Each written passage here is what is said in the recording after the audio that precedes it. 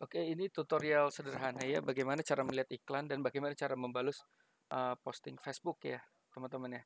Jadi uh, kadang-kadang kita waktu ngiklan untuk pemula nih ya, terus kadang-kadang kita nggak bisa tahu nih mana ini gue ya iklannya, terus balas komennya di mana ya gitu, kita nggak tahu ya. Jadi sederhana teman-teman kalau udah masuk dashboard ad manajernya, teman-teman tinggal klik yang ini ya, tinggal klik tutorial mentor di sini contoh, contoh iklan saya kan yang gitu kan. Terus klik lagi, oke habis klik itu, klik lagi yang sini Oke, terus ini dicentang. Oke, ini dicentang.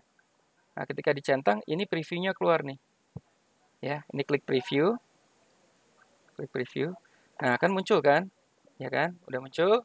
Kemudian kita klik add preview. Add preview. Nah, ini mantap ya. Nah, ini share link nih teman-teman bisa iklan bisa di-share. Ini copy, ini lihat ya people who see this ad video will not be included as an ad. You will not be charged. Oke, jadi intinya kita bisa kasih link ini ke tim kita lah. Ibaratnya kayak gitu ya. Atau misalnya kita mau lihat komennya ya ada di sini ya. Facebook post with comment.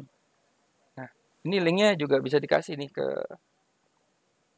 ke link. Jadi nanti CS kita atau kan misalnya kita ngiklan tapi yang balas-balas CS-nya ya. Jadi ini nanti bisa dikasih ke CS kita gitu ya. Oke ini mungkin ada Instagram juga dan lain-lain ya ini banyak nih kalau mau lihat tampilan di newsfeed seperti apa. Oke, ini juga bisa di sini ya. Oke. Terima kasih, semoga bermanfaat ya. Sederhana tapi mungkin teman-teman bingung gitu ya.